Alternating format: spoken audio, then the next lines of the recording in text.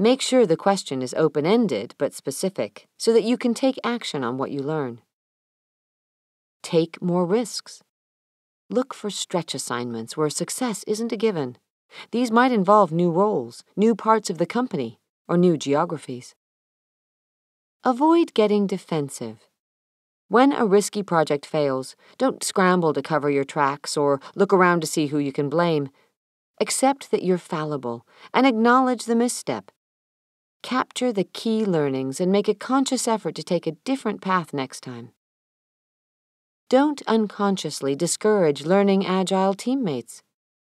Individuals with learning agility constantly challenge the status quo and may appear rough around the edges to more diplomatic, laissez faire colleagues. Their brazenness can be downright off putting. However, their value is undeniable, and the more of them we have working for us at all levels, the better off we'll be in our efforts to prove the value of our humanity.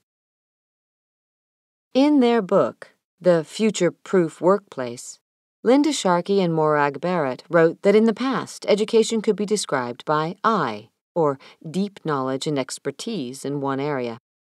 But the shape of the future proof learner is better represented by a truncated T, because a single area of expertise simply doesn't work in an increasingly complex workplace.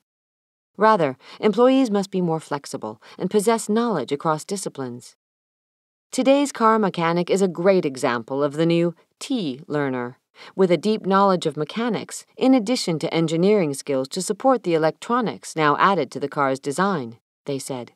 Sharkey and Barrett, 2017.